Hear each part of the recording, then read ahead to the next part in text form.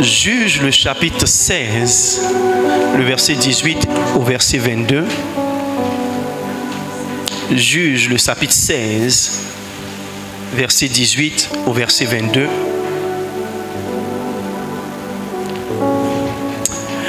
Delilah, voyant qu'il lui avait ouvert tout son cœur, envoya appeler les princes des Philistins et leur fit dire, montez cette fois-ci, car il m'a ouvert tout son cœur. Et les princes des Philistins montèrent vers elle et apportèrent l'argent dans leurs mains. Elle l'endormit sur ses genoux et ayant appelé un homme, elle rasa les sept tresses de la tête de Samson et commença ainsi à le dompter. Il perdit sa force. Elle dit alors, les Philistins sont sur toi, Samson. Et il se réveilla dans son sommeil et dit, je m'en tirerai comme les autres fois et je me dégagerai. Il ne savait pas que l'Éternel s'était retiré de lui. Les Philistins le saisirent et lui crevèrent les yeux. Il, le fit descendre à Gaza et le lièrent avec des chaînes d'airain. Il tournait la meule dans la prison. Cependant, les cheveux de sa tête commençaient à croître depuis qu'il avait été rasé. Que le Seigneur nous bénisse par sa parole. Que le Seigneur nous bénisse par sa parole. La foi pour accomplir des exploits. Par la grâce de Dieu, je vais essayer d'apporter ma petite contribution à ce grand thème, à ce grand sujet. Vous savez, lorsqu'on parle d'exploit, Samson est un exemple vivant de, ce qu'on appelle exploit. Un homme né de femme, mais qui fait des choses extraordinaires. Un homme de la même nature que toi et moi, mais qui peut tuer des centaines et des milliers d'hommes armés, juste avec une main, juste avec la mâchoire d'un âne, et d'autres éléments, je vais dire, banals. La vie de Samson montre une certaine dimension d'exploit. Aujourd'hui, beaucoup de personnes se regardent comme des hommes ordinaires. Mais je crois par le Saint-Esprit que des choses extraordinaires vont sortir de chacun de nous. Alléluia. Je crois que si vous prenez le père de Samson et la mère de Samson, il n'y a rien dans leur ADN qui peut justifier la force de Samson. Tout comme il n'y a rien dans ton histoire ou dans l'histoire de ta famille qui peut justifier ce que Dieu va faire au travers de toi et ce que tu vas accomplir. Mais nos yeux verront ce que Dieu va accomplir au travers de toi. Je vois une dimension d'exploit qui va s'ouvrir dans ta vie. Tu seras un homme ordinaire, mais tu feras des choses extraordinaires. Tu seras un homme banal, tu es peut-être un homme banal, mais tu vas accomplir des choses qui vont marquer l'esprit des gens. Oh, j'ai cru que je parlais au moins à plus de deux personnes ce soir. Alléluia. Lorsque je lis l'histoire de Samson, le côté... Vous savez, j'ai lu une recherche sur Samson. Je ne crois pas qu'elle soit fiable. Mais pour soutenir mon message, je veux la rendre fiable. L'étude que j'ai faite, j'ai lu sur Samson, disait que lorsqu'on regardait physiquement Samson, il ne ressemblait pas à la force qu'il donnait. Tu vois, si Samson était un zigéi, on n'allait jamais trouver que sa force lui venait du Saint-Esprit. Parce qu'on en a dit oui, c'est parce qu'il a des muscles. Qui comprend ce que je suis en train de dire J'ai lu hier un article où il y a un homme qui s'appelle Iron de quelque chose, je pense qu'un Burkinabé, et qui, qui se présentait comme étant l'homme le plus fort. Iron? Bibi, l'homme le plus fort. Je ne sais pas si c'est du monde ou bien de la terre ou bien de l'Afrique. Mais vous voyez, si Samson était comme ça, on n'allait pas voir Dieu. L'une des sagesses de Dieu, c'est d'utiliser les choses viles pour confondre les fautes. C'est pourquoi j'ai l'impression que quand Dieu veut te rendre spécial, il t'avilit d'abord. La Bible dit il n'avait ni beauté ni éclat pour attirer les regards. Cependant, voyez, Dieu a fait exprès de le rendre sans beauté ni éclat pour qu'il y ait un cependant. Malgré cela, vous savez, la manifestation de la gloire de Dieu est plus visible dans les ténèbres. C'est pourquoi ne, ne pleure pas aujourd'hui ce que tu as échoué hier. Il se pourrait que ce soit Dieu qui t'a fait échouer. Ne pleure pas les opportunités que tu as ratées. Il se pourrait que ce soit Dieu qui t'a fait rater cette opportunité pour que le jour où il va descendre, on puisse distinguer sa présence dans ta vie. Vous savez, la gloire de Dieu, c'est de cacher les choses, mais Dieu même ne se cache pas. Dieu veut se donner un nom au travers de ta vie. C'est la raison pour laquelle, lorsqu'il s'est révélé à, Moïse, en Exode, le chapitre 3, le verset 15, il dit Je suis le Dieu d'Abraham, d'Isaac et de Jacob. Dieu ne veut pas se cacher. Mais pourquoi il dit le nom d'Isaac, Jacob, Abraham? C'est parce qu'il a fait des choses évidentes. Tu vas faire des choses évidentes. Tu n'es rien, mais Dieu va faire des choses évidentes. Mais monsieur Dieu, tu veux peupler la terre. Pourquoi tu utilises quelqu'un qui a un problème de fécondité?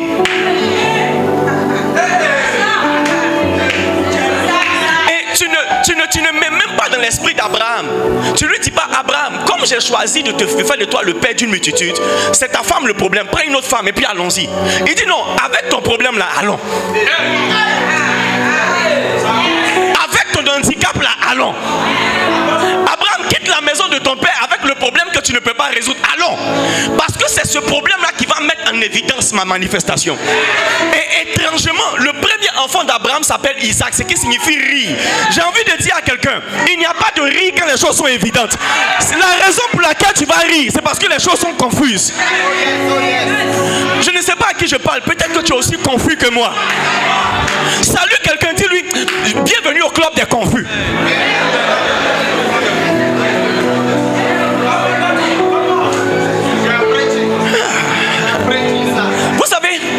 N'avait jamais adoré le Seigneur. Aucun disciple n'avait adoré Jésus.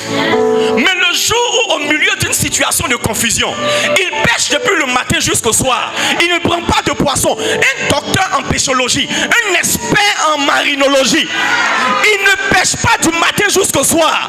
Et à une heure improbable, on lui dit, Vous savez, et lorsqu'il a pris des poissons, il s'est mis pour adorer le Seigneur. Jésus même sait que tu ne peux pas l'adorer dans les situations ordinaires. Si tu comprends trop les miracles de Dieu dans ta vie, tu ne crois pas en Dieu.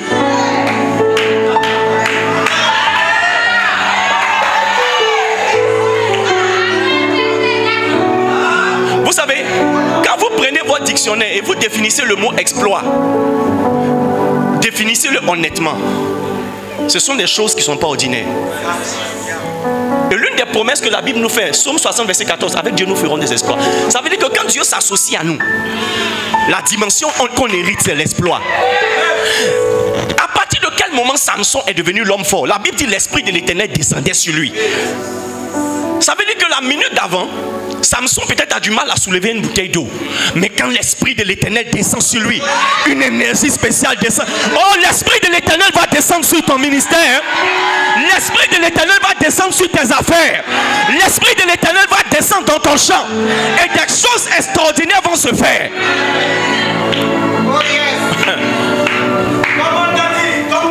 Vous savez, Paul dit, avant je pleurais sur ma faiblesse. Maintenant, je me réjouis de cette faiblesse-là. Parce que c'est alors que je suis faible. Vous savez, c'est l'orgueil qui, nous fait croire qu'on a besoin d'être opérationnel à tout moment. Frère, taper poteau, souvent, ça aide à voir Dieu. Oh yes.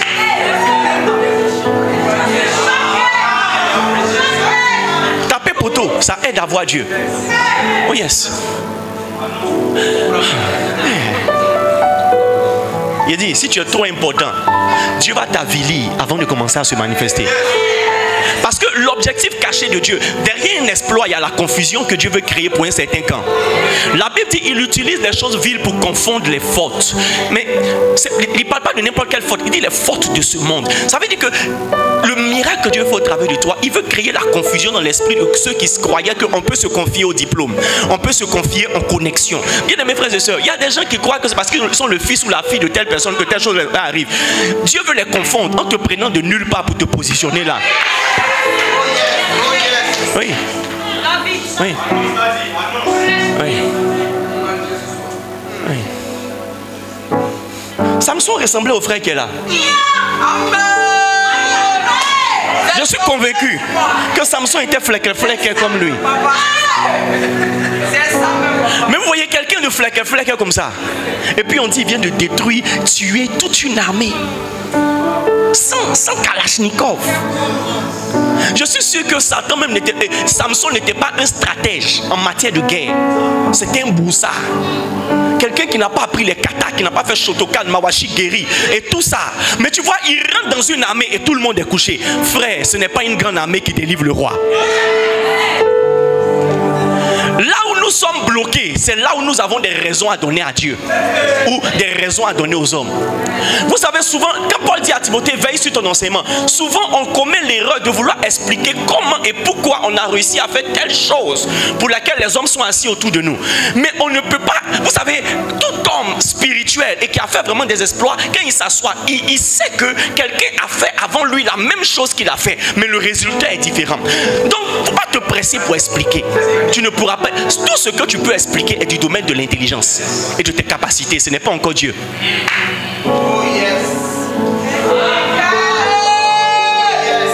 Si tu peux expliquer pour comment est-ce que tu es passé de 5 à 10 membres dans ton église et de 10 à 1000 membres, en fait, c'est pas encore Dieu.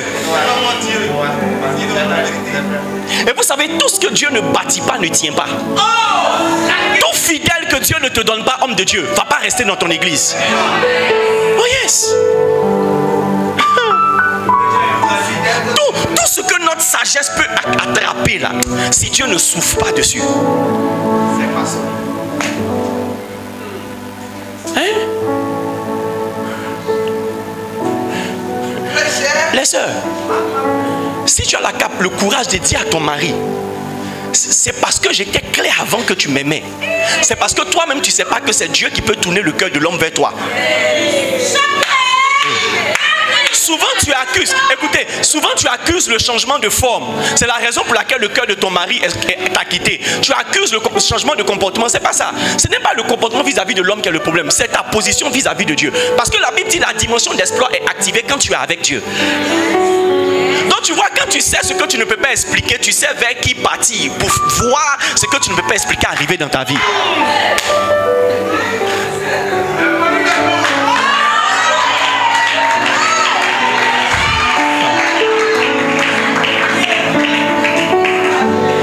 Assieds-toi un peu, s'il te plaît. J'ai même pas encore commencé à prêcher.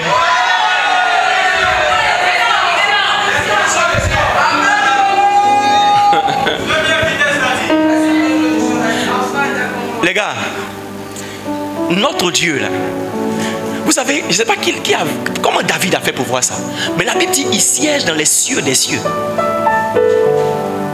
Ça veut dire que notre Dieu est au-dessus de tout. Donc tout ce qu'il fait là, ça doit avoir. Vous savez, tout ce qui porte l'empreinte de Dieu est extraordinaire.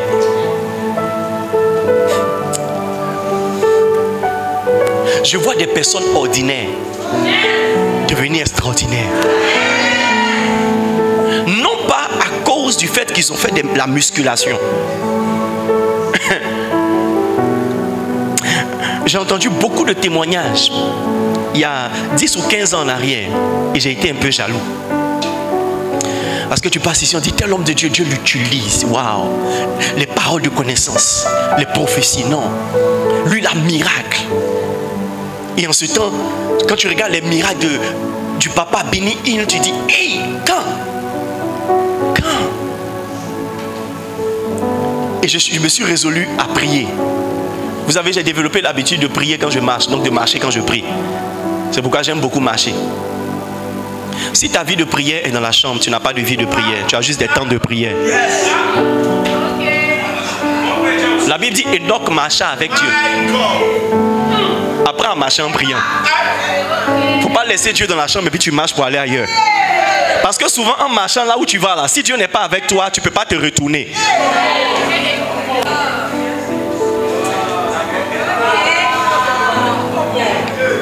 Alléluia. Et j'ai dit au Seigneur en marchant, Seigneur, vraiment, je veux devenir puissant. Je veux que mon ministère aussi soit accompagné de signes, de miracles. Papa, je m'attendais à ce que Dieu me dise. Ariston, jeûne 40 jours à gaz.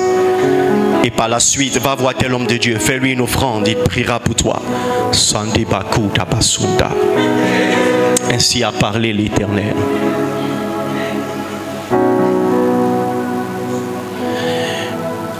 Lorsque j'ai prié ainsi, le Seigneur me montre une vision. Et la vision que j'ai eue, c'est la vision d'une plume. Et la plume était ballottée par le vent. Ballottée par le vent. Et puis la vision est partie. Et j'ai demandé l'interprétation. Le Seigneur m'a dit, si tu veux être puissant, si tu veux que j'utilise, je t'utilise puissamment, deviens aussi léger qu'une plume. Afin d'être ballotté par le vent. Le vent, c'est la puissance de Dieu. Vous savez, arrivé un moment, on a l'impression que c'est nous qui utilisons la puissance de Dieu. C'est la puissance de Dieu qui doit nous utiliser. C'est pourquoi Ézéchiel dit La main du Seigneur fut sur moi et il me transporta. Mais il y a des gens qui transportent Dieu. Ce soir, je suis là et Dieu est là avec moi. Si avant moi, il n'y a pas eu orateur, maintenant l'orateur est arrivé. Partout où je vais, Dieu est là. Dis Amen pour que je pousse.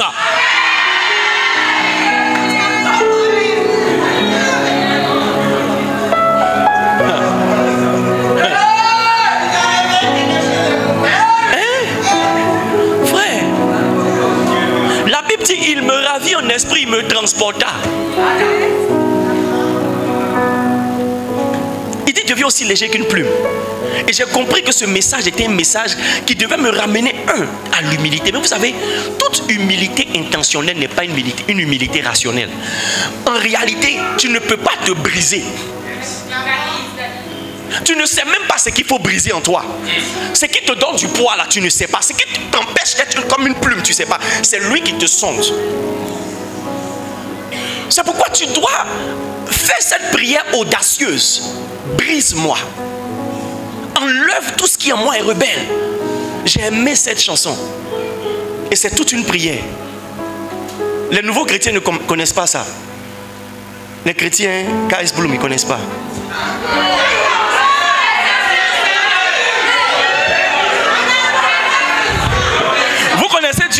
Pas foutu. Mais vous ne connaissez pas le Dieu qui pile l'homme. Qui te pile.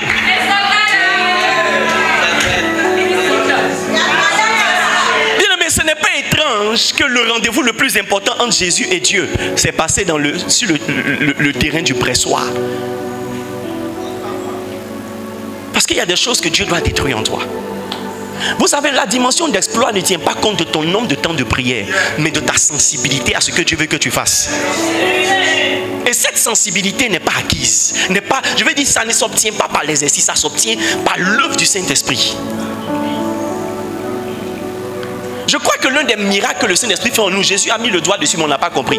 Il dit tous ceux qui sont nés de l'Esprit sont comme un vent. Comment quelqu'un qui est un homme lourd comme ça peut devenir comme un vent? Ça veut dire que quand le Saint-Esprit rentre en toi, il détruit certaines choses. Il brise tes résistances. La plupart d'entre vous, vous n'avez pas idée du ministère que Dieu veut vous donner. Vous savez pourquoi? Parce que vous êtes resté focus sur la vision du modèle que vous avez vu hier. Ce que vous appelez exploit n'est pas exploit. Parce que quand tu restes dans le domaine ivoirien ou francophone de l'exploit en matière d'église, ton exploit n'est pas exploit. Ce que tu appelles exploit, c'est CP1. Tu es le plus intelligent du village parce que tu sais lire lettre. Mais il y a quelqu'un qui sait écrire une lettre. Il y a quelqu'un qui sait expliquer les mots de la lettre. C'est pourquoi il est bon, très cher frère, de voyager un peu. Sortez de votre orgueil. De, Non, non, payez le prix pour voyager. Les groupes musicaux, arrêtez de faire, de couper, décaler, arrêtez de faire du zouglou. Écoutez, c'est bon, mais sortez un peu. Sortez un peu, sortez un peu. Vous savez, j'ai regardé hier, j'ai regardé hier un culte où euh, euh, euh, le pasteur Bini devait prêcher. Je ne me souviens pas de la partie où il y a une direction.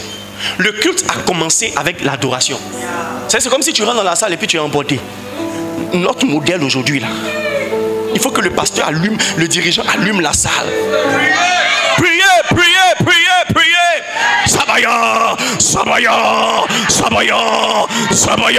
Eh. Avant que l'atmosphère change.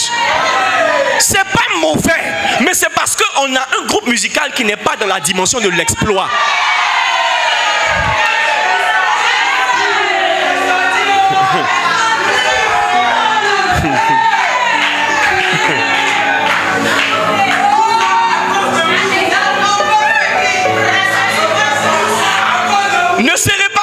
Je suis en train de vous aider.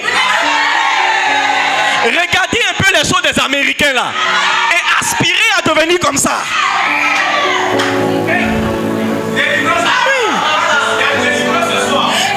Les hommes de Dieu. Avant, on voulait grande église. Maintenant, on veut grande église. Hein. Mais on veut belle église aussi. Maintenant, on ne veut pas belle église juste parce qu'il y a climatiseur. On veut belle église où il y a ascenseur, escalier roulant dedans. Vous savez pourquoi? Avant, pour moi, une, une, bonne église, une grande église, c'est une église qui, peut prendre 1000 personnes. Donc, même si tu es plat, 1000 personnes, c'est bon. Oui, c'est bon. De toute façon, tu as 1000 personnes. Alléluia, Dieu est fidèle. Mais tu vois, je suis allé à Singapour. Bien aimé, église, il y a escalator, escalier roulant, il y a ascenseur. Et la même église, ils ont beaucoup de salles jumelles. Ça veut dire quoi? Ça veut dire que tu rentres dans une, salle comme ça, il y a un grand, toutes les salles, il y a le grand écran climatiseur, système, tout, tout. Tu vois, quand tu vois ça là, tu te rends compte que ce que toi tu appelles exploit là, c'est pas encore exploit. L'une des choses qui doit challenger ta foi, c'est la vision. Vous ne trouvez pas étrange qu'après avoir coupé ses cheveux, les gens ne s'arrêtent pas là? Mais c'est ses cheveux le problème. On a coupé ses cheveux, il n'a plus de force. Non. Delilah a fait quelque chose. Il y a une chose que le péché fait dans ta vie pour que les démons fassent une autre chose. Le péché va t'affaiblir, mais les démons vont pas te laisser dans l'état de faiblesse. La Bible dit quand Delilah a fini de le raser, les Philistins ont crevé ses yeux. Parce que si tu ne vois pas, tu ne pourras rien faire. C'est comme s'ils ne craignaient pas, parce que je ne les ai pas vus activer leur magicien pour fabriquer un produit qui, arrête la, croissance des cheveux. Je sais que les chimistes peuvent fabriquer ça aujourd'hui. S'ils peuvent faire ce qui fait pousser, c'est que voilà, ils n'ont pas créé. Ce qu'ils peuvent faire, c'est qui fait diminuer les cheveux. Non, ils n'ont pas pu le rendre chauve. Mais ils ont crevé ses yeux. Bien aimé, écoutez-moi très bien. Tout exploit qui n'émane pas d'une vision ne va pas durer dans le temps. Tu vas faire des grandes choses par accident. L'une des choses que j'apprends de l'évangéliste A1, c'est qu'il est intentionnel dans tout ce qu'il fait. Intentionnel. Il fait rien au hasard. Nous tous on a photo Bishop Daken, je suis venu, il a pris photo ici. Nous tous on a photo Pasteur Mohamed, il a mis la photo. C'est intentionnel. C'est intentionnel. tout ce qu'il fait est intentionnel. Parce qu'il a une vision. La plupart d'entre vous ici, vous savez que Dieu est grand, mais vous n'avez pas encore vu là où la grandeur de Dieu doit vous envoyer et ce que la grandeur de Dieu doit faire de vous. La Bible dit un peuple sans révélation est un peuple sans frein. Ça veut dire que si tu n'as pas de révélation, tu ne sais pas où tes yeux doivent s'arrêter. Tes yeux se promènent partout. Il y a un frein qui doit venir. Il y a un frein. Tu dois t'arrêter sur un modèle. Et le modèle que Dieu te donne doit toujours être scandaleux pour toi.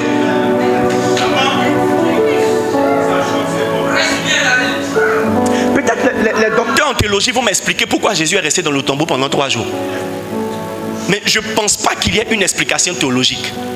Je crois plutôt qu'il y, a une, il y a une explication stratégique. Parce que s'il était mort le même jour et qu'il était reçu le même jour, on allait dire c'est juste un coma. Il s'est juste évanoui. Il n'est pas bien mort, c'est pourquoi il est ressuscité. Écoutez, c'est nous qui ne savons pas comment Dieu fonctionne, sinon Dieu est intentionnel. Oh,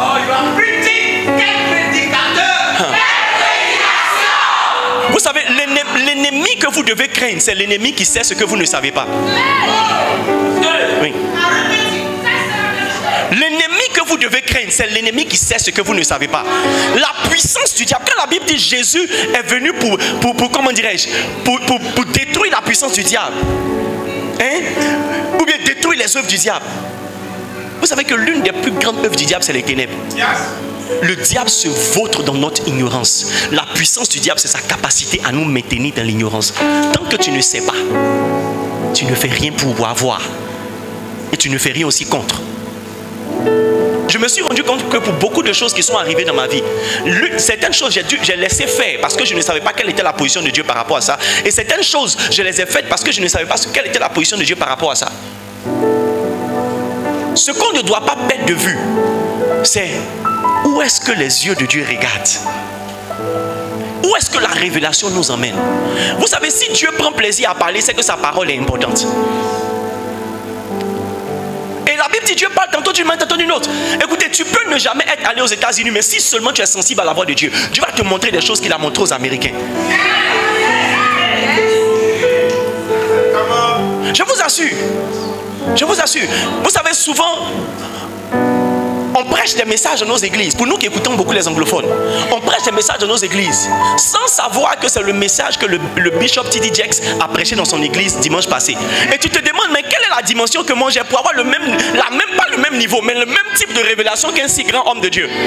Et mot pour mot, je dis la même chose alors que je ne l'ai pas écouté.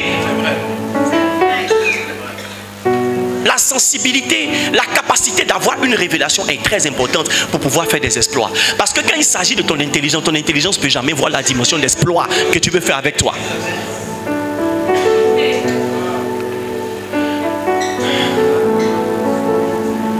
C'est pas pas parce qu'on réfléchit beaucoup qu'on va réussir dans le ministère. Non. C'est pas parce qu'on réfléchit beaucoup c'est parce qu'on est sensible à la voix de Dieu. Il a dit, il n'y avait pas plus intelligent que Paul en son temps. C'est pourquoi il ne pouvait pas se cacher. Saul de tasse. Parce qu'il était smart. Il avait une certaine vision, mais ce n'était pas la vision de Dieu. Vous savez, peu importe que tu vois ou que tu ne vois pas, tu vois quelque chose. Que Dieu te parle ou que Dieu ne te parle pas, il y a une voix qui te parle. Sans savoir que c'était Satan qui l'inspirait, Pierre est venu donner conseil à Jésus. Faites très attention, toutes les voix que vous entendez, toutes les idées que vous avez n'émanent pas forcément du Saint-Esprit. Si ce don n'était pas important, Dieu ne nous a pas dit d'avoir le discernement des esprits. Il n'allait jamais nous demander d'éprouver les révélations et les prophéties. Le pasteur Mohamed a l'habitude de dire, malgré le fait qu'il jeûnait 40 jours, Satan a pu prendre Jésus pour lui parler. Donc ce n'est pas parce que tu es un grand jeûneur que c'est la voix de Dieu seulement que tu entends.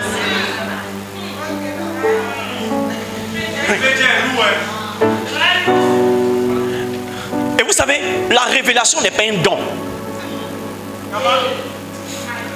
La révélation est une quête permanente de la face de Dieu. Il dit rechercher ma face. Il n'a pas dit chercher, il dit rechercher. C'est pas évident. Dieu convoque Moïse sur la montagne. Premier jour, il lui dit rien. Deuxième jour, il lui dit rien. C'est pratiquement le sixième, le septième jour que Dieu parle à Moïse. Dieu n'est pas le camarade de quelqu'un. C'est la raison pour laquelle nous sommes frustrés. Parce qu'on croit que parce qu'on a prié trois heures par rapport à ce sujet, c'est résolu. Non. Tu pries par rapport à ce sujet, mais où est-ce que la face de Dieu est orientée? C'est ça la révélation. Et l'une des raisons pour lesquelles on doit être permanemment à jour en matière de communion et de communication avec Dieu, en matière de révélation, c'est parce que la volonté de Dieu hier n'est pas la même volonté de Dieu demain. Sinon, il n'y aurait jamais eu l'Ancien et le Nouveau Testament.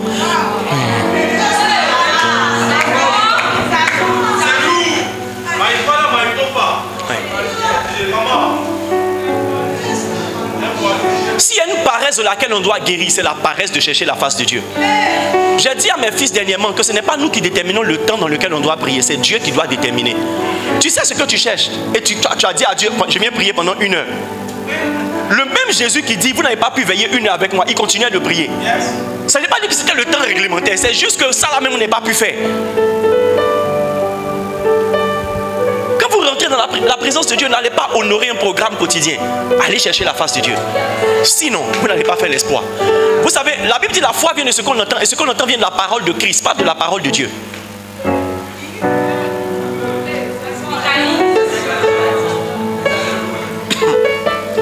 Maintenant, qui est Christ? Christ là, c'est celui que Dieu a révélé. Quand Pierre a dit à Jésus, tu es Christ, tu es le Fils de Dieu, il dit non, ce n'est pas la chair et le sang qui t'ont révélé. Ça veut dire que c'est une dimension qui est dans la révélation. Foi est fondé sur le fait que tu as lu Jésus a guéri la femme qui avait une perte de sang. Ça crée un certain niveau de foi. Mais le type de foi n'est pas proportionnel à ce que Dieu veut faire au travers de toi ou pour toi. Parce que tu vois, il te sera fait selon ta foi. Si je charge ma foi en fonction de la foi de l'apôtre Sinclair, c'est une foi, mais ce n'est pas une foi raisonnable. Parce que la foi de l'apôtre Sinclair peut déplacer cette table. Mais la foi de Dieu veut que je puisse déplacer la montagne. Ceux qui lui ont rendu témoignage, je parie qu'aucun n'a dit à cette femme, aucun n'a dit à cette femme, si tu touches sa robe, tu seras guéri.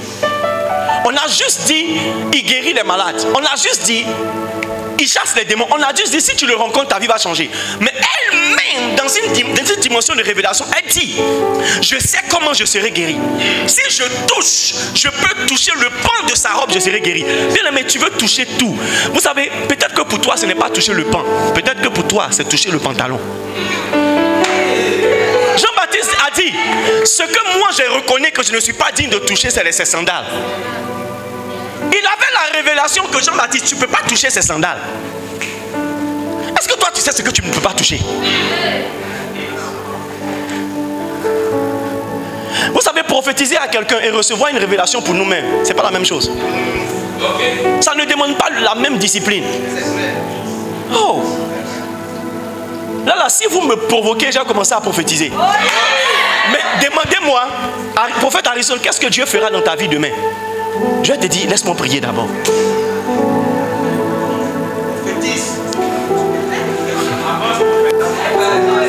Alléluia. Si tu veux que je prophétise, dis Média, Média. L'onction de prophétie est partie. Parce que l'esprit d'orgueil est tombé sur moi.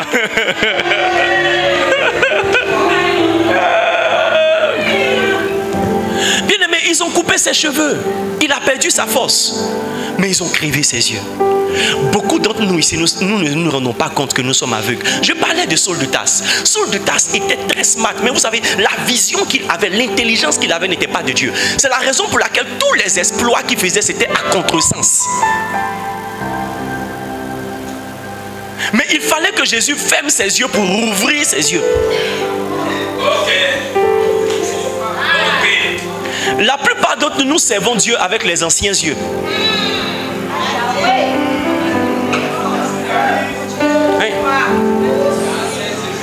Servons Dieu avec une ancienne révélation. J'ai dit, je respecte les doctrines chrétiennes. Mais si tu veux, dans cette génération, transformer en doctrine et en fétiche le fait qu'on doit prier voilé, je t'assure, tu ne pourras pas rendre plein ministère. Et il y a des gens qui te sont destinés qui ne viendront pas à toi. Quand vous lisez la vie de Jésus, c'est comme si le gars n'était pas compliqué. Il mange avec les gens de mauvaise vie. Il s'assoit au milieu. Je me demandais comment il s'asseyait au milieu des prostituées. Comment il fait? Il y a banc, il s'assoit dessus comme un beau joueur damier. Mais tu vois, le gars, il est assis. Mais à la fin, en trois ans, il a pu réussir ce que nous-mêmes, on ne peut pas réussir en 30 ans de ministère.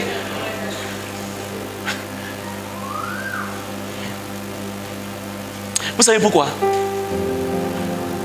Parce qu'il nous faut une nouvelle révélation. Une révélation actualisée. J'ai lu quelque chose qui m'a choqué au départ. Bishop, la Bible dit que le même ange dit à Joseph, il n'y a plus rien à craindre. Prends la mère et l'enfant. Il va les mettre en sécurité. Ange qui vient de la part de Dieu. Et sur le chemin, il se rend compte qu'il y a un rescapé. Et l'ange lui dit, ah, il y a quelqu'un qui est resté.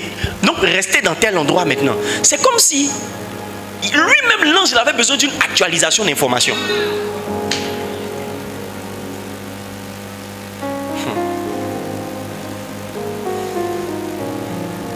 C'est ce même niveau de révélation qui a fait que les disciples de Jean l'ont quitté pour suivre Jésus. Mais pas eux tous. Ceux qui savaient que leur destinée était connectée à lui.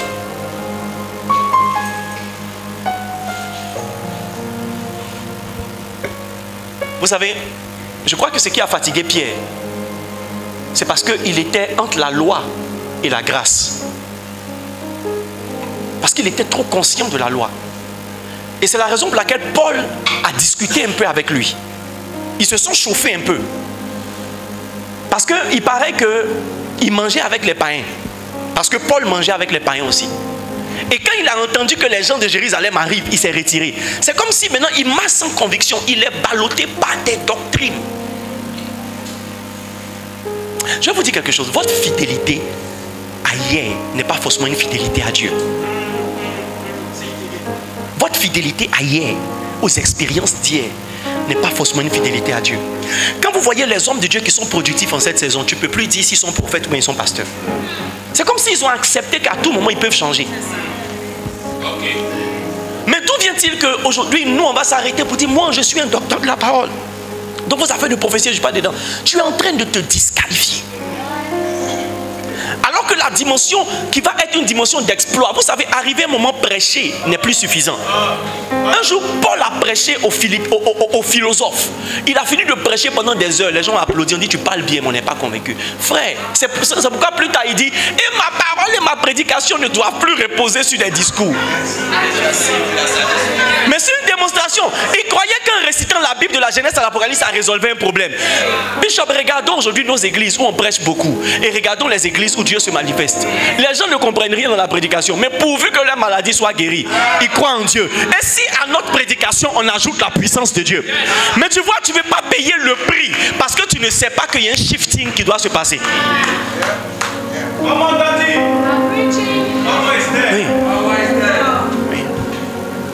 Dernièrement, j'ai commencé des cultes qu'on appelle CSD à l'église. Oui, tous les dimanches après-midi, CSD. Culte de miracle, compris pour les malades. Yes. Avant, c'était académie, école de ministère. Donc, à cette heure-là, je pompe mes gars, on fait réunion, on se chauffe. Et le Saint-Esprit m'a dit Hey, tes gars là, ils sont malades. Oui. Il dit Ils sont malades, ils ont un besoin. Oui. Ils ont besoin de voir ma puissance.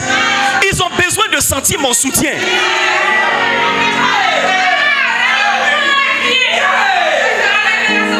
Sinclair, pourquoi est-ce qu'il y a des gens à qui on dit tu es béni et ils sont bénis et il y a des gens obligés de les toucher pour qu'ils soient bénis? Ce n'est pas parce qu'on n'est pas puissant. C'est juste qu'il y a une autre formule pour un certain autre type de personnes. Donc pendant qu'on prêche, il y a des gens qui sont touchés par la parole, mais il y a des gens qui n'ont pas la foi pour soutenir la parole. Ils ont besoin d'une plateforme où on leur impose les mains.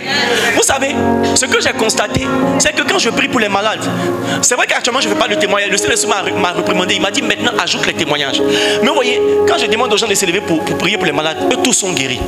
Et aussi facilement, je ne commande pas au démon, Père, guéris-le nom de Jésus. Est-ce que vous êtes guéris? Oui, retournez à vos places. Ceux qui sont guéris retournent. Et tous, tout le monde retourne. 99% des personnes sont guéries. Vous savez pourquoi? Parce que j'ai reçu une instruction, je suis en train d'obéir. tu es en train de, de, durer à cette position parce qu'il y a une petite chose que tu devais faire que tu n'as pas fait. Souvent, c'est changer la couleur du temple. Souvent, c'est souvent changer la couleur du temple.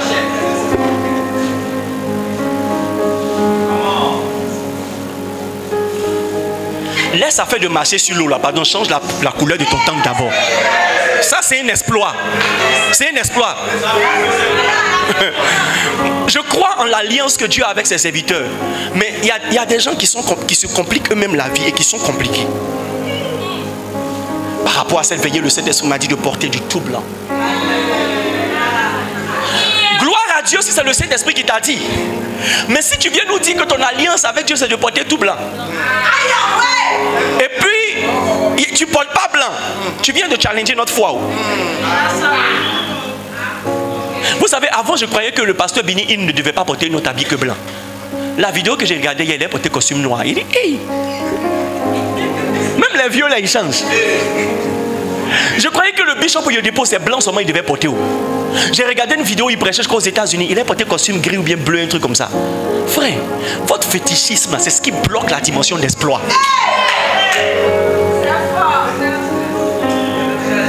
Oui, oui. Votre fétichisme. Et vous savez, souvent, nous transformons nos défauts en fétiches. nos limites en fétiche. Non, cette chanson-là, je ne peux pas chanter. C'est elle seule qui peut chanter. Non, il faut que vous donniez à telle personne. Bien aimé, la Bible dit si Dieu rentre en scène, tu vas faire l'exploit. Là où tu ne peux pas monter, là, tu vas monter. faut croire. faut croire que tu peux y arriver. Ta foi est soutenue sur la parole de Dieu. Ta foi est fondée sur le témoignage des gens. Mais ta foi ne vient pas sur une parole ointe, une révélation. Souvenez-vous d'une chose, pour changer le goût du potage, Élisée n'a pas utilisé du pain, il n'a pas utilisé du sel, il a utilisé la farine. La farine est la matière première pour, pour faire du pain. Ça veut dire qu'il n'a pas utilisé la parole en elle-même, il a utilisé la source de la parole. Il a utilisé la révélation pour changer le goût. Il y a certaines choses dans ta vie qui vont changer quand tu vas avoir la révélation. Oui, tu n'as pas besoin de... Il y a des choses que tu ne liras pas dans la Bible, mais qui sont ta solution. Homme de Dieu, si Dieu ne nous parle pas, on est foutu. On est foutu. Aujourd'hui, il y a des versets que je récite quand je prêche que je n'ai jamais lu. Je ne m'étais pas rendu compte de ça. C'est dernièrement que je me suis rendu compte, mais attends, tu as dit la Bible dit, mais tu n'as jamais lu. Et vous savez, aujourd'hui, avec la technologie, tu peux chercher un verset juste en l'écrivant. Et je me rends compte que ça existe dans la Bible. Écoutez-moi très bien. La Bible dit il vous révélera tout ce que je vous ai appris. Et la Bible dit pour vous, ce n'est pas un homme qui va vous enseigner, mais c'est l'onction. L'onction ne vous enseigne pas dans la dimension du logos. L'onction vous enseigne dans la dimension du réma. C'est la raison pour laquelle Paul pouvait dire l'évangile que je vous prêche, ce n'est pas un homme, mais c'est Jésus même qui me l'a enseigné. Il y a des choses qui ne sont pas consignées bibliquement, qui sont soutenues bibliquement, mais qui sont dans l'esprit de Dieu que tu ne liras jamais. Faut pas me faire croire que tu as lu toute la Bible, tu as retenu tout ce que tu as lu.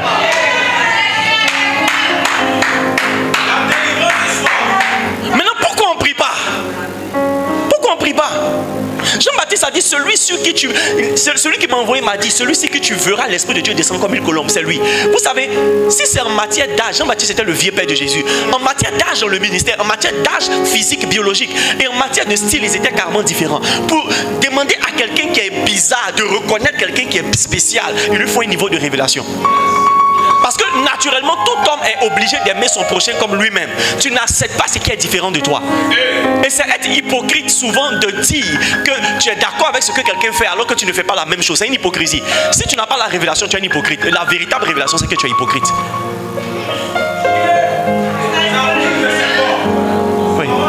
Jean-Baptiste n'aurait jamais baptisé Jésus si quelqu'un qui l'avait envoyé ne lui avait pas dit.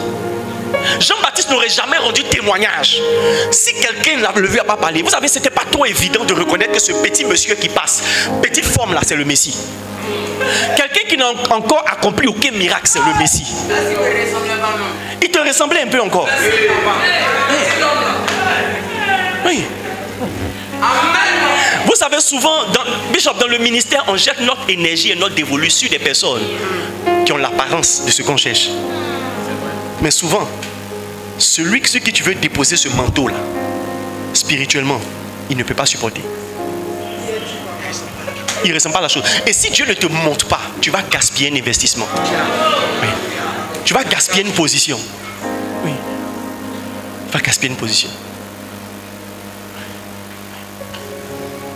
Vous qui faites les affaires, toutes les opportunités ne sont pas les opportunités à saisir. Et cette année, le Saint-Esprit m'a enseigné à mes dépens à mes dépens. Une belle opportunité. Quand le budget était autour de 200, 204 millions, quand j'ai vu ça, j'ai dit, OK, par rapport à mes projets pour l'église, par rapport à l'église, ça tombe bien. Je n'ai pas consulté la chair, le sang, je n'ai pas consulté le Saint-Esprit, je n'ai rien consulté. J'ai consulté mon expertise. Je suis allé, j'ai pris le marché. Et quand le Saint-Esprit m'a dit, ce marché est un marché qui va te créer des problèmes, je me suis levé moi-même pour me créer des problèmes avant que le problème qui était destiné ne vienne. Oui.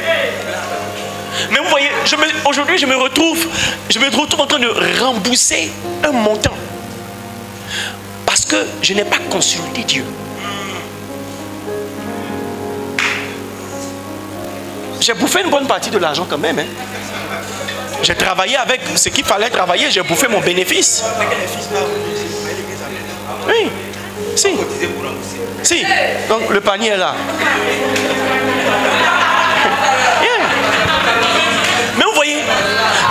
Si j'avais écouté Dieu au départ,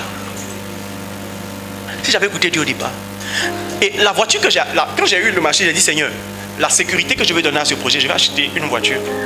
Et cette voiture-là, je, la mets en position de sorte à ce que quand il y a des moments de flottement dans le chantier, je peux la vendre Donc j'ai acheté une voiture à pratiquement 14 millions.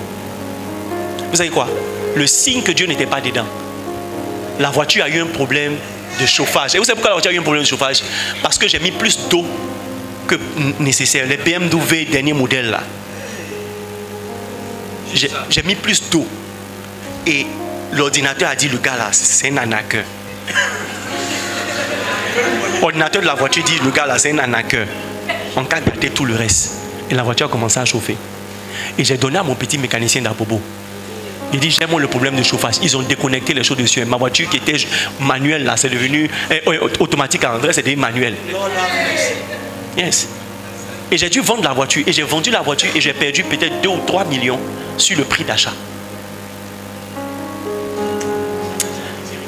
C'est la miséricorde. J'aurais pu faire un accident et perdre carrément la voiture. Vous êtes tout excité. C'est pourquoi, vous voyez, bénissez Dieu pour le prophétique. Quand la Bible dit confiez-vous mes prophètes, allez prospérer, ce n'est pas parce que le prophète va prier et puis le ciel va s'ouvrir seulement. Mais il va te dire où tu ne dois pas semer. Parce qu'il voit la chose sans émotion. En matière de choix de femme et de mari, s'il te plaît, ne consulte pas la chair et le sang. Consulte ton pasteur. Parce que toi, tu gères la chose dans la dimension des émotions. Il est beau, il a un bonnet, elle est belle, elle est claire. Mais lui, il voit la chose dans la dimension de l'esprit. Il peut te dire, derrière sa beauté, là, se cache un démon. La Bible dit, la première femme que Saül a donnée à David était censée être un piège. Il y a des mariages qui portent une mission négative. Tu peux te marier et faire ta lune de miel à Dubaï, mais la suite, là, c'est plus lune de miel. C'est lune d'abeille même. C'est l'abeille.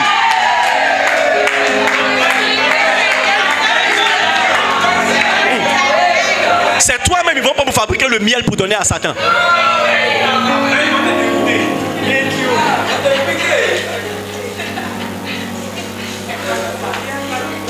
Hum.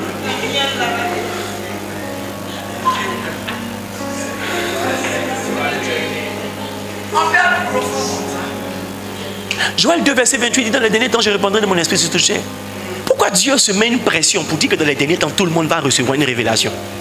Il dit dans les derniers temps, je répondrai de mon esprit. Vos fils vont prophétiser, vos vieillards rendre des sons. Ça dit que sur tout âge, et dit même sur toute chair, vous devez être capable d'entendre Dieu. D'accord Vous savez, Dieu ne parle pas dans l'excitation, il parle dans la conviction. Et souvent, ce de quoi on est convaincu n'est pas raisonnable. Mais on est convaincu qu'on doit le faire. Tout ce qui t'excite est de la dimension de l'âme. C'est pourquoi Paul dit, je n'ai pas consulté la chair et le sang. Le sang, c'est l'âme. Il y a des choses qui sont jolies comme ça dans ton âme. Mais ce n'est pas pour toi. La Bible dit, elle a vu que le fruit était doux, agréable. Ce que ton âme acquiesce n'est pas forcément quelque chose que Dieu te donne à manger. Les gars, si vous n'êtes pas sensibles, si nous ne sommes pas sensibles à Dieu, on va suivre la mauvaise nuée.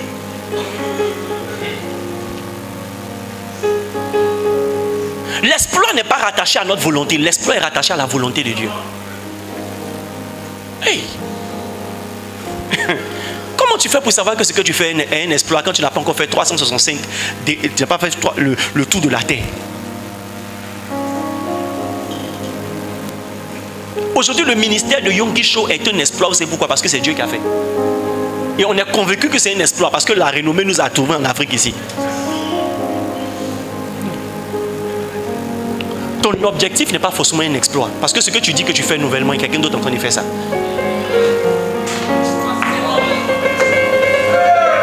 Mais si Dieu t'a dit qu'il doit t'utiliser dans une certaine dimension, laisse-le t'utiliser.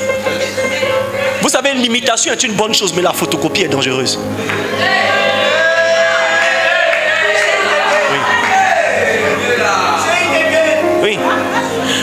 Est une bonne chose, mais la photocopie est dangereuse.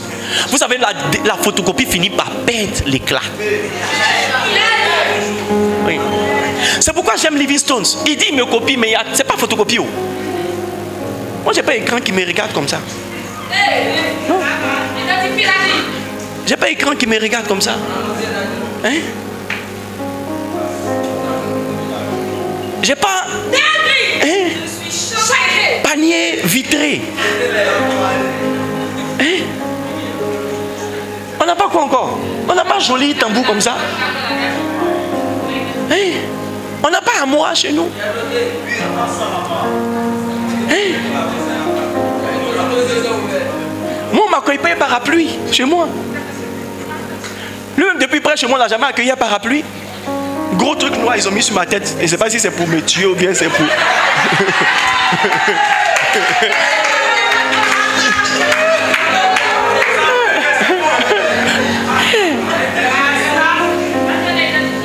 Bien aimés frères et sœurs, l'imitation crée en vous un certain esprit. Mais le signe que vous êtes en train d'imiter la bonne personne ou la bonne chose, c'est la révélation. C'est-à-dire qu'il y a la valeur ajoutée. La valeur ajoutée. Comme je fais comme tel homme de Dieu fait telle chose, moi je serai comme lui. Arrêtez de demander l'onction d'Élie. Je veux aussi une double portion de l'esprit d'Élie, double portion de l'esprit d'Élie. Ça ne marche plus. Dans notre génération, l'esprit d'Élie ne marche plus. Ça ne marche plus. Et puis même ça ne marche pas comme on veut là. Ça marche d'en réconcilier le cœur des pères avec les fils. Mais ça ne marche pas d'en faire tomber le feu du ciel. Maintenant, il y a l'Esprit de Jésus qui est là. Toujours opérationnel. Toujours opérationnel. Yes. Ton père spirituel s'appelle Élie. Maintenant, toi, tu t'appelles Élie, Élisée. Maintenant, tes fils spirituels s'appellent Élie, Élisée, Abraham. Maintenant, les fils spirituels de ton fils spirituel s'appellent Élie, Élisée, Abraham, Jacob. Pourquoi tant de complications? Écoutez, on fait les choses, hein. je parle comme ça, prenez-moi comme un fou. Bishop Dag dit, comme je ne peux pas vous parler, je parle au vent pour que le, le vent vous parle. Oui. Ce que tu fais là, les complications que tu ajoutes à ton ministère là, si ça ne vient pas de Dieu, c'est ce qui est l'obstacle entre toi et ton exploit. Je vous assure, c'est parce que Samson a travaillé hors délai que Delilah l'a eu. Samson a travaillé hors délai, c'est la raison pour laquelle Delilah l'a eu. L'obstacle qui s'est créé dans sa vie, c'est avoir une femme avec lui. C'est comme s'il faisait une fixation sur le fait d'être accompagné sexuellement. Même pas par l'amour sexuel. Tu peux pas être amoureux bêtement comme ça. On ne prend pas Goumen pour guérir Goumen.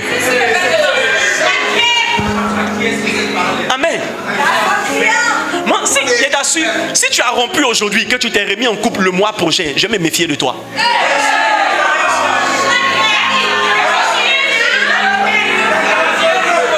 C'est le signe que tu n'as aucune révélation. Samson passait avec Delilah, c'était certainement un temps où il devait être en train de combattre les Philistins et en finir. vous, savez, là où tu stagnes, souvent c'est là-bas où Dieu ne t'a pas envoyé.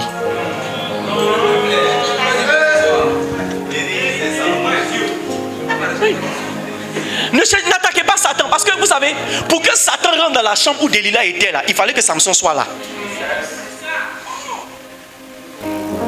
Tu n'es pas là et tu n'as pas fait accès, Satan ne vient pas. Satan ne vient pas.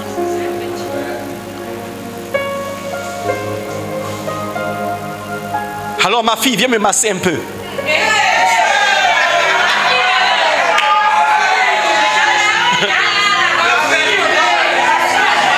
Daddy, comme tu es seul là, je vais venir préparer un peu pour toi. Il a dit, si, si, si ce que tu, tu veux faire là, avec un esprit d'action de grâce, ne manque pas d'un esprit de révélation, ce qui va sortir de là-bas, là, on ne connaît pas le nom.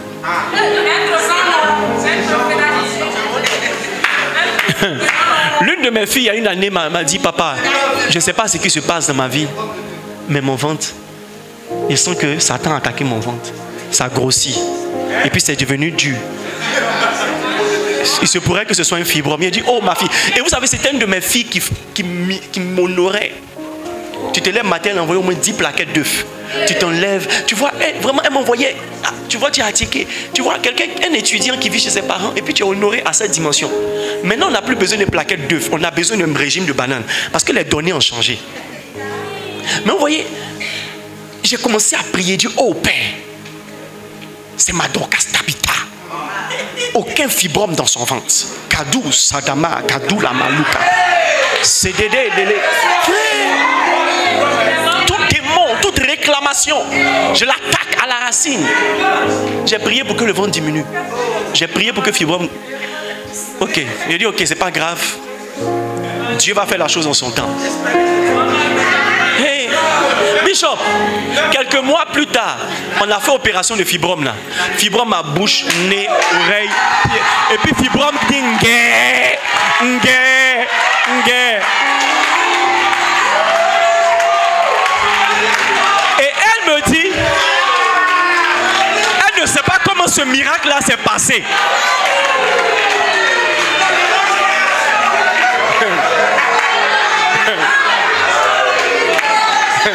C'est un joli fibrome. Hein.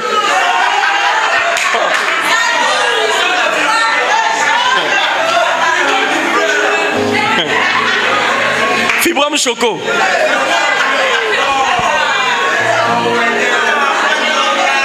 Je vais dire quelque chose de grave. Il se pourrait que celui que tu appelles ton père spirituel, tu l'as choisi par affinité, non par révélation. C'est la raison pour laquelle tu n'es pas encore rentré dans ton ministère. Beaucoup de personnes ont gaspillé une belle énergie dans une mauvaise assemblée. Pas parce que l'assemblée était mauvaise, mais ce n'était pas leur assemblée. Il fallait un certain niveau de révélation et de maturité pour que Jean-Baptiste laisse partir ses disciples pour suivre Jésus. Souvent, toi-même, tu es père spirituel. Tu sais que le gars, là, il est avec toi, mais il n'est pas pour toi. Si tu n'es pas sensible au Saint-Esprit, tu vas, tu vas devenir aigri dans le ministère. Surtout si le gars que tu appelles ton fils est plus sensible que toi et il a trouvé sa source, tu vas le maudire pour rien. Alors que rester avec toi, ça va le transformer en Jonas dans ton bateau. Ton église va prendre un coup. On ne négocie pas pour avoir quelqu'un avec nous. On ne magouille pas. On n'utilise pas des faux rémas ou des principes qui ne tiennent pas. La loyauté est relative à la volonté de Dieu. La loyauté est relative à la volonté de Dieu. Il y, a une prostituée qui a dit, je suis une prostituée, mais une prostituée fidèle.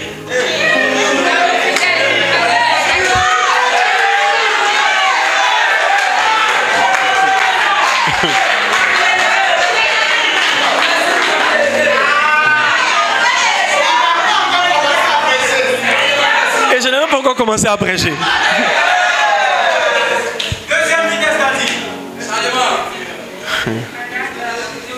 La raison pour laquelle ils ont crevé les yeux de Samson. Ce n'était pas seulement pour lui faire perdre la révélation. Parce que tout ce qu'on voulait tuer, hein, en tuant la révélation, c'est quoi? C'est l'espoir. Je vais vous dire quelque chose. L'espoir est le carburant qui énergise la foi. Une foi qui n'a pas d'espoir n'est pas une foi vivante. Beaucoup de chrétiens prétendent avoir la foi, mais quand tu les vois, tu les vois marcher comme s'ils n'ont pas de rêve.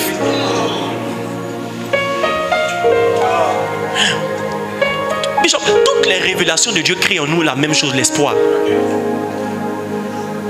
C'est vrai qu'on est challengé, on est attaqué, mais au moins on a fait quelque chose que d'autres personnes n'ont pas fait avant nous. Et on est en train de faire, on est en train de poursuivre, parce qu'on sait dans la dimension de l'espoir. Vous savez, le diable souvent, il augmente son déguisement pour faire peur. Sinon, c'est qui en bas là, il sait rien. Si naturellement il faisait peur, il n'allait pas se déguiser.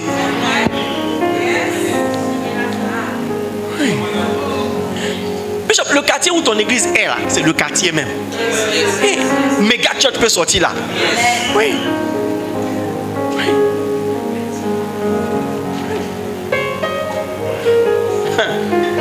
J'ai entendu un message, j'ai écouté le pasteur Yannick Dati aujourd'hui. Il, a dit une chose qui m'a touché. Il dit l'église a trois paliers de, de croissance financière. Il dit il y a l'étape où l'église est déficitaire. Ça veut dire que tu es obligé de chercher les ressources ailleurs pour soutenir l'église. Il y a une étape où l'église est, c'est-à-dire l'église réussit à gérer ses charges. Il y a une autre étape où maintenant l'église est excédentaire. Tu vois, peut-être que tu es dans l'étape de ta vie. Je ne sais pas pourquoi mon message, j'aime toucher un peu les hommes de Dieu. Excusez-moi, je ne suis, suis même pas accrédité pour vous donner quelques conseils que ce soit. Amen. Je ne suis même pas accrédité. Alléluia. Mais vous voyez, Peut-être que l'église dans laquelle tu es est, excédent, est, dans la phase où, Joe, tu es obligé d'appeler tes filles en Europe pour qu'elles fassent un virement pour que tu payes ton loyer. Tu es obligé d'activer tes fils même qui ne prient pas avec toi. Nous tous, on a des fils catholiques qui nous honorent. Mais ils ne viennent pas prier avec nous. On a des fils méthodistes qui prient, qui nous font des offrandes. Il dit, non, je suis avec toi, mais il ne vient pas faire culte. Mais quand il dit paix, il réagit. Hein? Mais je vois le temps en train d'arriver. Et le temps est déjà là. Où l'église va prendre soin d'elle-même et l'église va prendre soin de toi. Oh yes. Oh yes. Oh yes. Vous savez, l'amertume est, est une petite semence comme ça. Et il faut un rien pour qu'elle soit semée dans ton cœur. Il faut une petite situation pour qu'elle soit semée dans ton cœur. Une facture qui vient au dernier délai. Et il y a l'amertume qui rentre dans ton cœur. Et puis elle commence à pousser des rejetons. Je vous dis la vérité.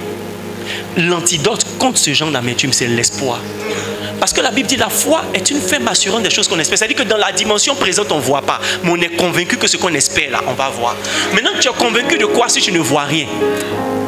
C'est pourquoi Dieu prend plaisir à te parler pour que tu vois, pour que tu aies l'espoir. Il n'y a pas quelqu'un ici qui a reçu une révélation de Dieu qui est dramatique dans les débuts de son ministère. Nous tous, on s'est vu prêcher dans des stades. 20 ans plus tard, tu prêches dans ton salon, mais tu t'es vu prêcher dans un stade. Ne laisse pas cette vision. Est-ce que c'est vrai, Joe? Ça a duré aussi. Oh. Et le lendemain du jour, tu as eu cette vision-là. Il y a trois de tes fidèles sur 15, il y a trois qui sont partis.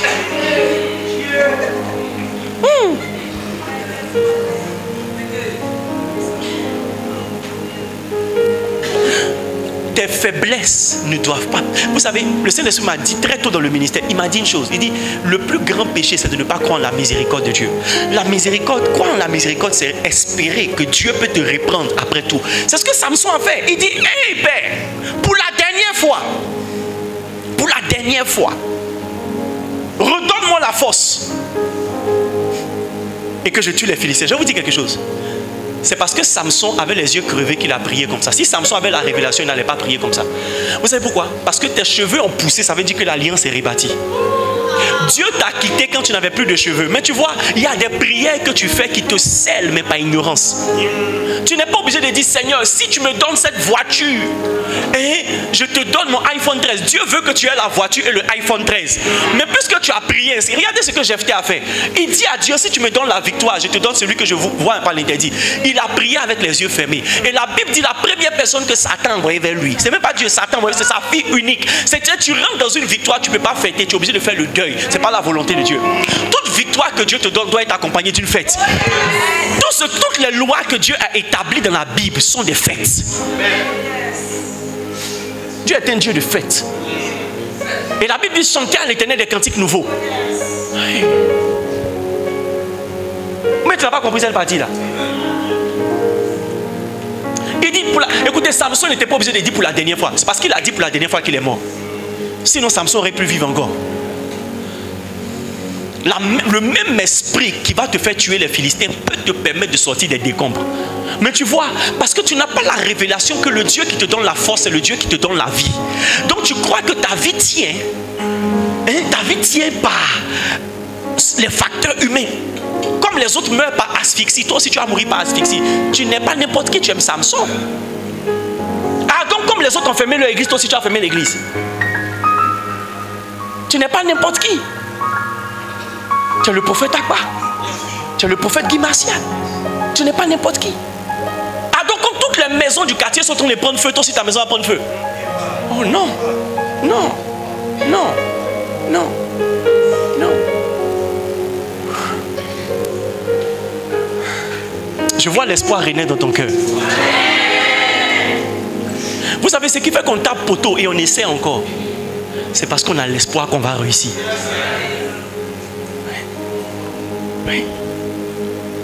Moi, je connais beaucoup d'hommes de Dieu qui ont lancé de grands programmes et qui n'ont plus osé faire. Parce que le premier programme, c'était poteau même. Frère, c'est espoir qui fait l'œuvre de Dieu. Souvent, Dieu n'est pas obligé de te parler longtemps. Quand ton cœur s'allume facilement dans l'espoir, Dieu est à l'aise avec toi. Dieu aime ceux qui rêvent. C'est la raison pour laquelle il n'a pas choisi ses aînés, il a choisi Joseph.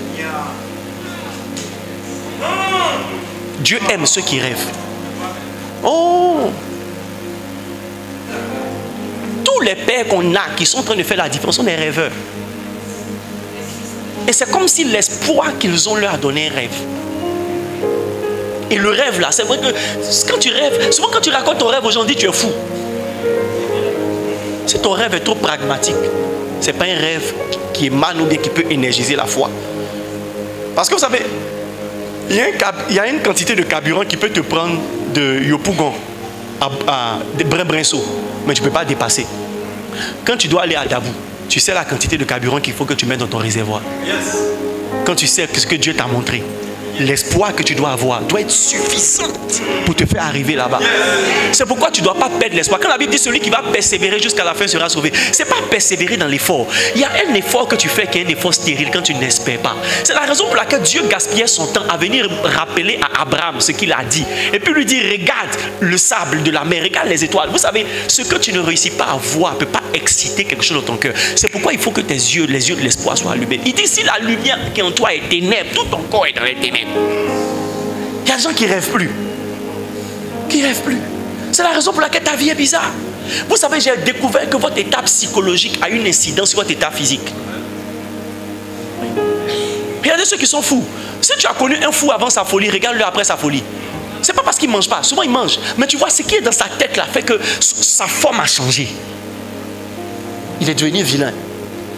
Même quelqu'un qui est dépressif, c'est comme s'il y a quelque chose en toi qui te tue à petit feu.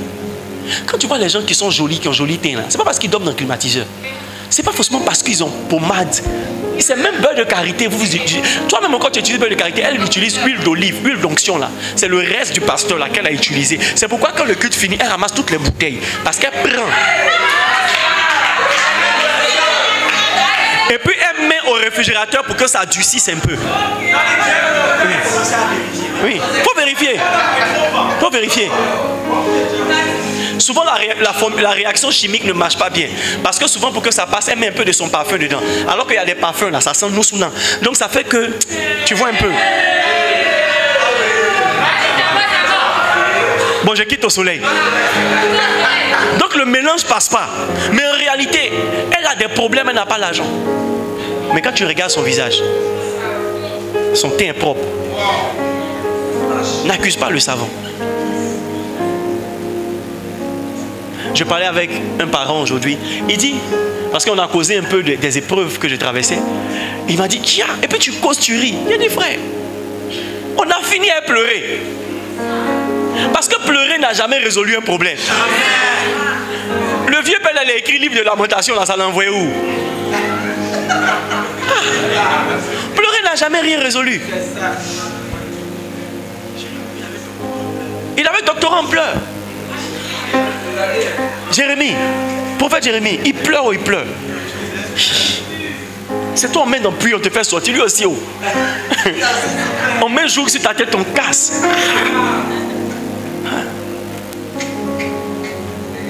Vous savez, Satan n'est pas, pas profond, il n'a pas les yeux perçants pour voir ce qui se passe dans ton cœur. C'est l'expression de ton visage qui lui montre qu'il est en train de réussir quelque chose. C'est pourquoi j'ai envie de dire à quelqu'un, si Satan t'a donné des citrons, il faut faire du jus de citron pour boire.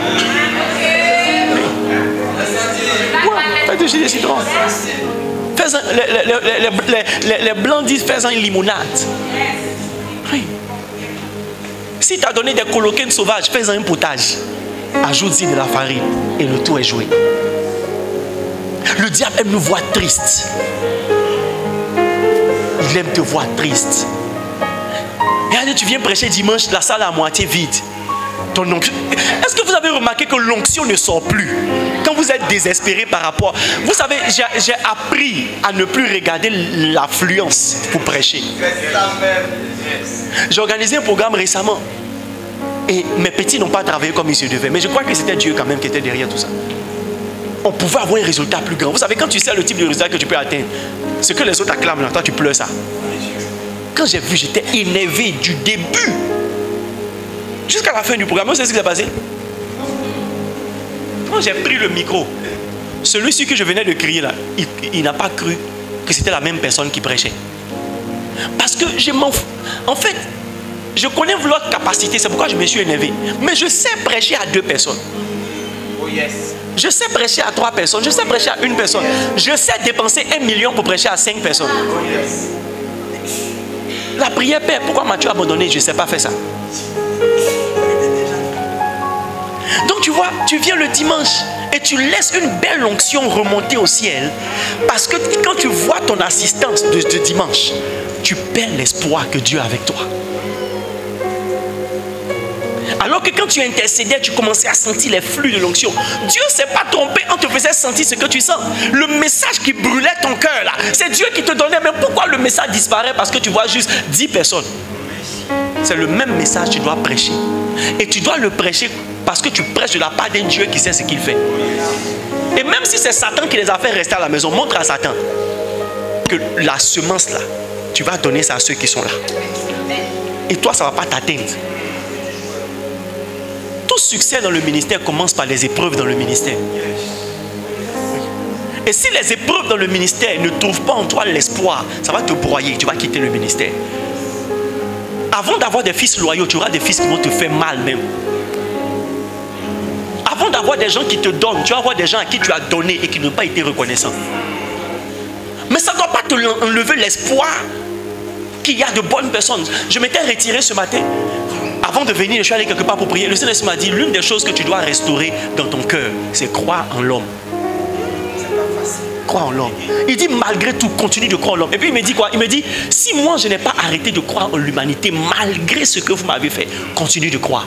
Je n'ai pas arrêté de croire en Judas. C'est Judas qui a arrêté de croire en lui-même. C'est pourquoi il s'est pendu.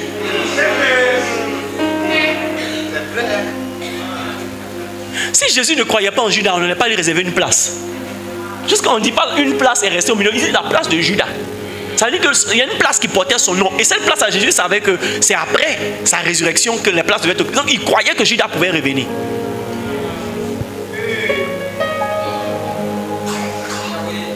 Bishop, les gens vont te faire du mal. Et c'est naturel. La Bible dit celui qui met son pain après toi dans le pot, là, c'est lui là, c'est lui qui va te faire du mal. C'est naturel que quelqu'un à qui tu as fait du bien te fasse du mal. C'est l'école de Jésus. Donc si vous ne formatez pas votre cœur à aimer l'homme en dépit d'eux, ou bien malgré, vous allez devenir amer et la belle onction qui est en vous sera corrompue. Je vous assure. La nuit vient toujours avant le jour. Il lui est soir, il lui est matin. Les mauvaises expériences viennent toujours avant la bonne saison. Les mauvaises personnes vont rentrer dans ta vie avant les, bonnes personnes. Mais Dieu est en train de te former. Dieu est en train de te former. Dieu est en train de te former. Ne me perds pas espoir. Tu perds l'espoir parce que tu ne sais pas celui qui t'a appelé. La Bible dit celui qui t'a appelé est fidèle. Il y a une expression que je savoure dernièrement. L'éternel est vivant.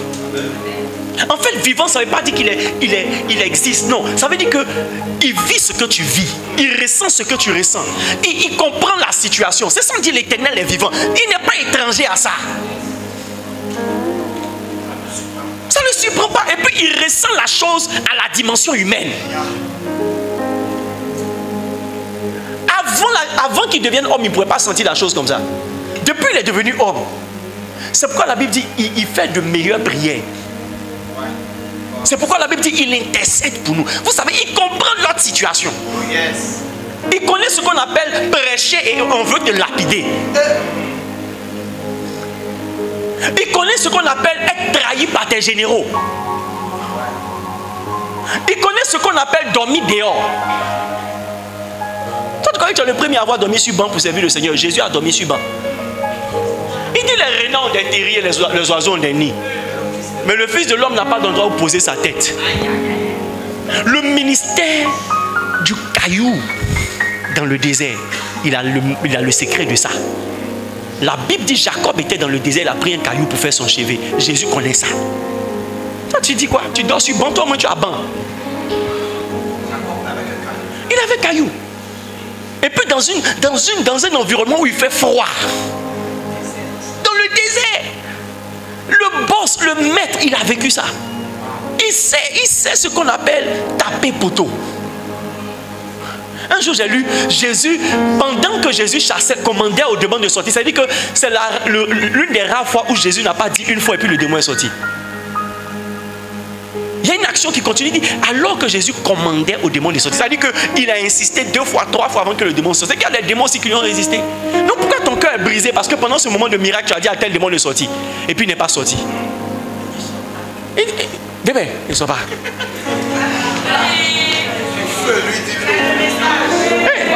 Le feu, le démon dit de l'eau. L'eau, l'eau.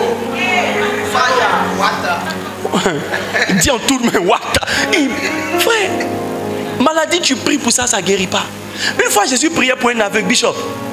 Il met ses mains, il enlève. L'aveugle dit, je ne vois pas encore. Il prie encore. Quand il enlève, le gars dit, je vois comme des arbres. Il va insister. Il prie encore. Et le gars maintenant commence à voir. Il dit, maintenant je vois clairement. Toi, tu dis quoi? Tu n'as pas de don de miracle parce que tu es obligé de prier trois fois pour qu'il soit guéri. Et l'espoir qui va guérir. Et l'espoir. Et l'espoir. Pourquoi tu abandonnes ta bataille contre ce péché-là? Que tu n'as même pas l'espoir que tu peux te relever. C'est la, c'est la force par laquelle le diable nous tient captifs. C'est le désespoir. C'est l'une des raisons pour lesquelles le Saint-Esprit, Jésus est venu pendant qu'ils étaient dans. Il leur a apparu la première fois. Parce que là où ils étaient là, ils n'étaient pas en train de se préparer pour aller prier pendant 40 jours ou bien 50 jours pour préparer la Pentecôte. La Bible dit qu'ils étaient enfermés pour deux ou trois raisons. La première raison, c'était la peur. La deuxième raison, c'était la tristesse. La troisième raison, c'était l'incertitude. Tout ça là, c'est désespoir. Et il est apparu pour dire, les gars, je suis vivant. Et le dernier rescapé du désespoir, c'était Thomas. C'est pourquoi il est venu. Sinon, Jésus n'a pas cédé à son chantage. Jésus savait que le gars, la, suite serait difficile pour lui. S'il rentre dans le ministère avec le témoignage des autres, il lui faut un espoir sur mesure. Dieu va te donner un espoir sur mesure.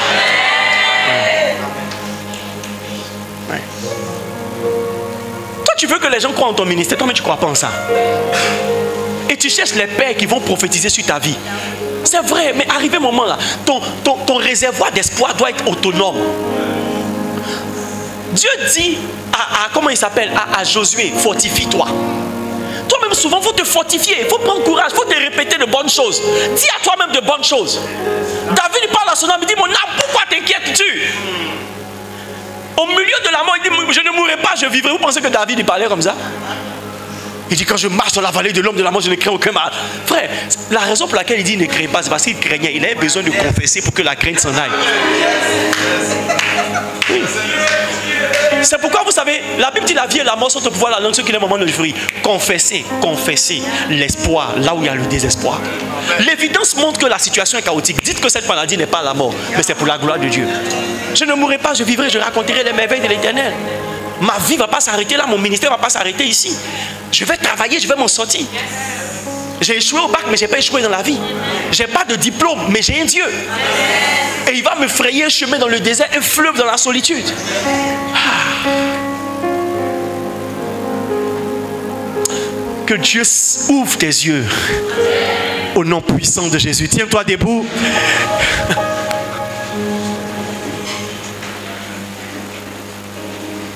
Je vois l'espoir remplir ton cœur. Je veux qu'on prie pour ces deux sujets. Je crois que j'ai trop parlé. J'ai trop parlé, n'est-ce pas? Élève les deux mains. Prie pour l'esprit de révélation. Et prie pour que Dieu sème l'espoir dans ton cœur. Et qu'il chasse le désespoir. Élève la voix et prie le Seigneur.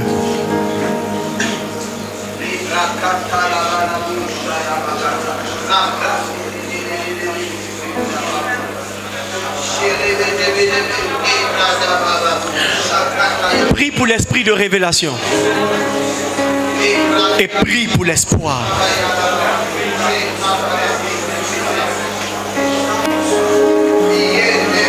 Prie pour que Dieu fasse tomber les écailles de tes yeux. Prie pour que Dieu te guérisse de la cécité. Peut-être que tu as espoir pour un aspect de ta vie.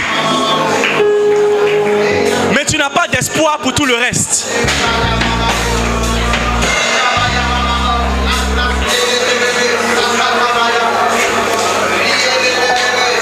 Prie pour que Dieu ouvre tes yeux.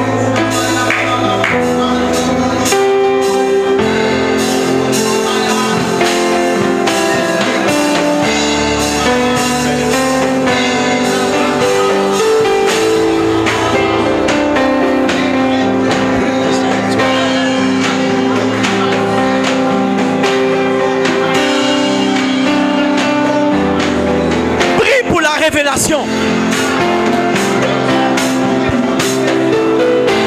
Besón de alabarado, si de alabar. Requere sundele bolo, sacarabalajera. Requere vos, sale de bona. Beso caradero, sabarade.